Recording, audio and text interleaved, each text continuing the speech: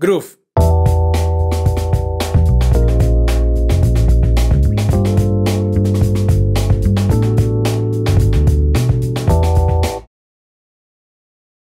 Todos hemos escuchado hablar sobre groove.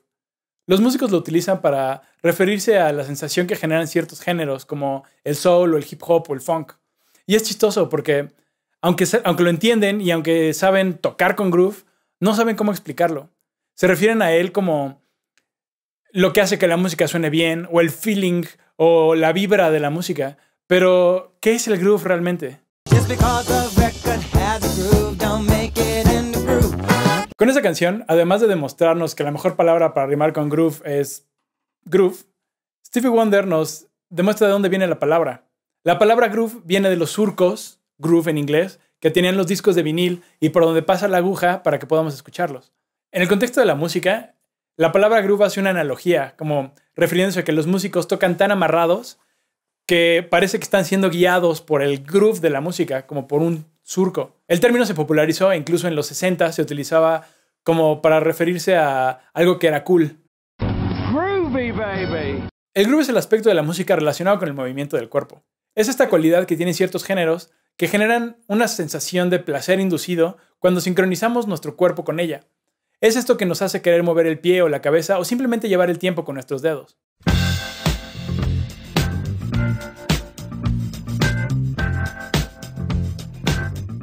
Es un fenómeno psicoacústico bien interesante, porque existe una relación directa entre la sincronización de nuestro cuerpo con la música y la región del cerebro encargada de recompensarnos a través de la liberación de endorfinas. Aunque esto no ocurre nada más porque sí. Esta respuesta emocional que tenemos hacia la música se logra gracias a un factor de expectativa y anticipación. Y para esto, algo muy importante es la repetición. Con la repetición de una célula rítmica, que puede ser tan sencilla como un beat, generamos una expectativa. Esta expectativa la construimos a partir de la información que hemos obtenido de los bits que ya pasaron. De esta manera podemos predecir dónde van a caer los siguientes bits y nos sentimos cómodos y seguros porque podemos aplaudir junto con ellos o bailar y sincronizarnos junto con la música. Por esto mismo, el rubato no ayuda mucho con el groove porque necesitamos un beat constante. Pero entonces, si lo importante para el groove es la repetición y un beat constante, ¿por qué no lo sentimos cuando escuchamos el metrónomo? Ah, ¿cómo no?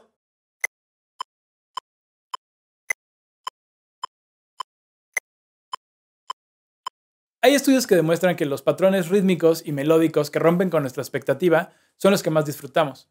O sea que la complejidad rítmica es un factor bastante importante para el groove. Por un lado nos gusta sentirnos cómodos y sentir que podemos predecir dónde va a caer el beat y podernos sincronizar con la música, pero a la vez también nos gusta sentirnos un poco sorprendidos, escuchando cosas que no esperábamos. El ejemplo más claro de un evento rítmico que rompe con nuestras expectativas es la síncopa. La síncopa es la acentuación de una nota en un tiempo débil y puede venir precedida de una nota no acentuada en un tiempo fuerte. Esto funciona porque nos acostumbramos a sentir los acentos en los lugares más obvios y cuando cae uno en un lugar donde no lo esperábamos, pues nos sorprende un poco.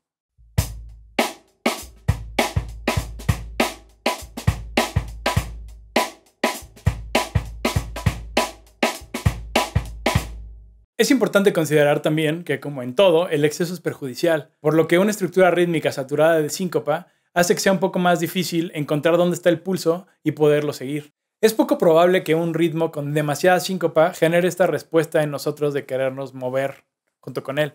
Y por otro lado, un ritmo sin síncopa carece de esta complejidad rítmica necesaria para el groove. De hecho, esto fue probado por un estudio realizado en la Universidad de Oxford en Inglaterra en el año 2013.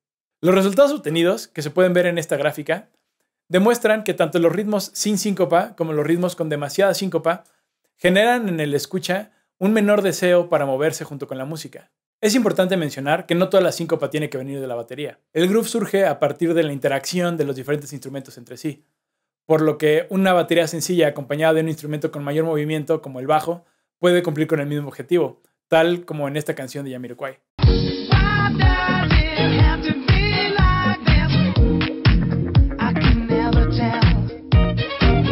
Otro ejemplo de un elemento rítmico que rompe con nuestras expectativas es el microtiming. El microtiming se manifiesta con pequeñas desviaciones rítmicas a partir de la posición estricta de una nota en el tiempo. Existe el microtiming no sistemático y el sistemático. El no sistemático se refiere como a los errores de ejecución y a las inseguridades al poder mantener un beat cuando uno corre o cuando se le cae el tempo. Sin embargo, el microtiming sistemático se refiere a la manipulación rítmica hecha por un músico de manera deliberada.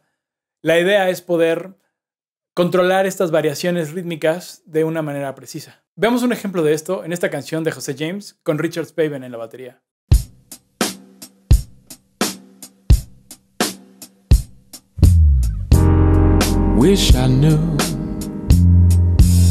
La idea es que el microtiming ayude a darle expresividad a la música.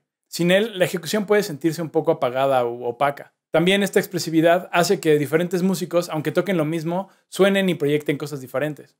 Se podría decir que cada quien tiene un groove interno único. Otro ejemplo del microtiming lo podemos ver en la función Humanize que tienen algunos editores de audio como Pro Tools o Logic o algunos secuenciadores o cajas de ritmos. Esta función lo que hace es agregar expresividad a la música a través de ciertas variaciones rítmicas de manera aleatoria. Esto impide que se sienta una secuencia robotizada. Básicamente, la idea del microtiming consiste en no ver el beat como un solo punto, sino como un conjunto o un espectro de puntos. Esto nos permite jugar con el tempo, porque podemos tocar justo sobre el beat o podemos tocar un poco antes o un poco después, lo que se conoce como layback. Veamos un ejemplo de esto.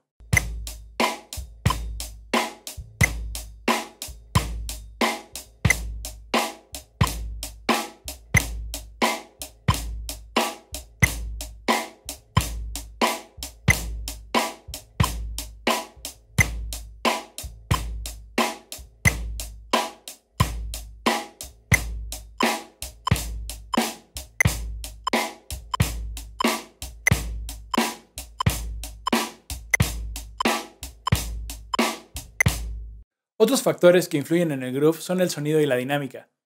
Así como en el microtiming tenemos que controlar la distancia entre las notas, también tenemos que ser capaces de controlar el volumen y el tipo de golpe que estamos dando.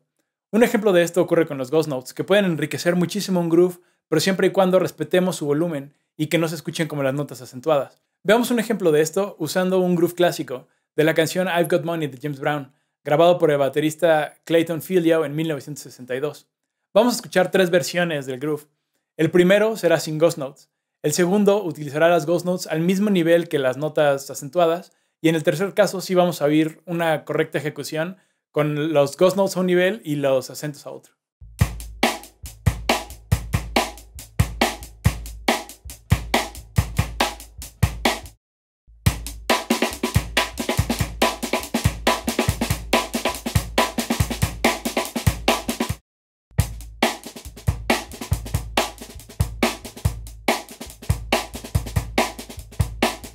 Por último, hay que considerar también que el groove es algo cultural y depende del contexto de cada quien. Va a ser mucho más fácil para alguien proyectar el groove de cierto género si creció toda su vida escuchándolo. Obviamente esto también se puede desarrollar, pero además de estudiar es necesario clavarse en el género. Hay que escuchar mucha música, ir a conciertos y estar en contacto con músicos que toquen este estilo. Si les gustó el tema y les gustaría escuchar más ejemplos de groove, les dejamos en la descripción los links a dos de los discos que utilizamos como referencia para este video. El primero es Start Time de James Brown.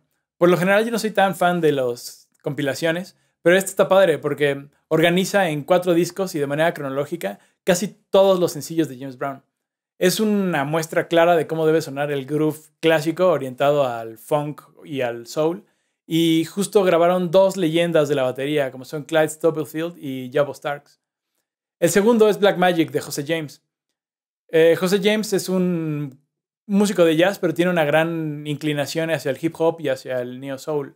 Eh, este disco graba además Richard Spaven, que es un baterista británico con un approach increíble hacia el microtiming. Por último, me gustaría agradecer a Visual Mates, nuestro patrocinador, por habernos prestado el equipo de audio, iluminación y de video para poder llevar a cabo este video.